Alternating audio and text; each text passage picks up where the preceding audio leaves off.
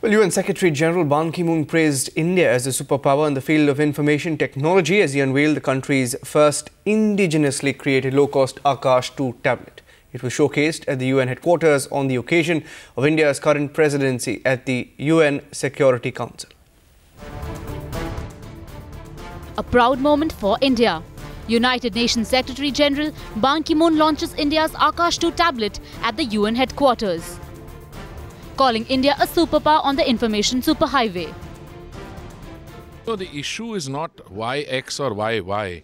We have the presidency of the Security Council for the second time after 19 years.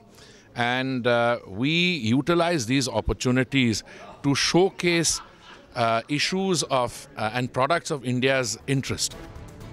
Jointly developed by the IIT Bombay and CDAC or the Centre for Development of Advanced Computing.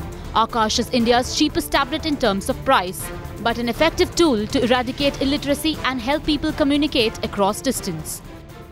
The need is for affordability. The need is to be able to bring it into a range that the masses can really uh, afford. The upbeat manufacturers, after the much talked about tablet PCs, big endorsement in the global stage. Aakash 2 was launched at the United Nations as an Indian innovation, even while questions have been raised about whether this tablet was imported from China.